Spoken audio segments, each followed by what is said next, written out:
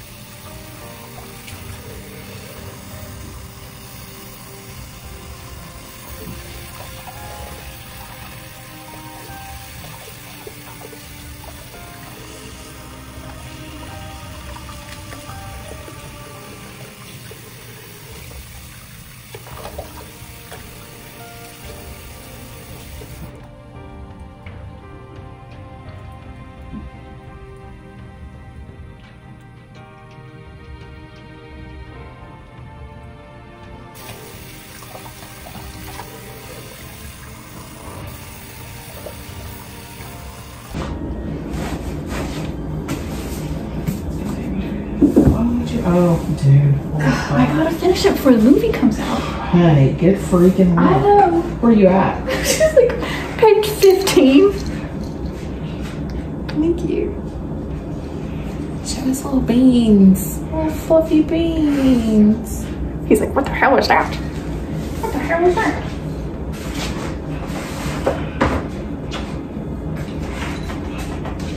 Yep, I do. Okay. He said, mm.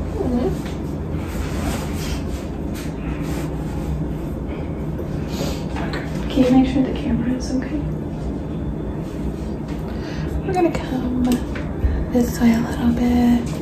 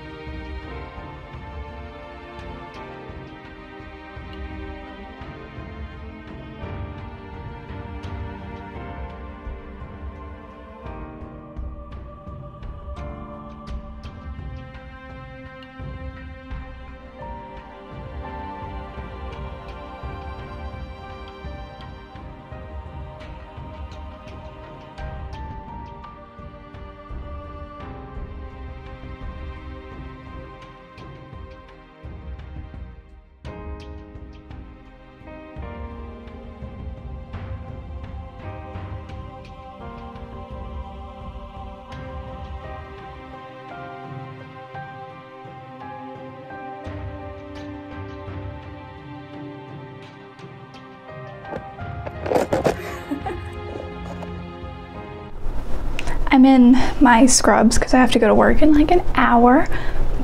But I just realized I never showed the finished product of my hair. So here we go.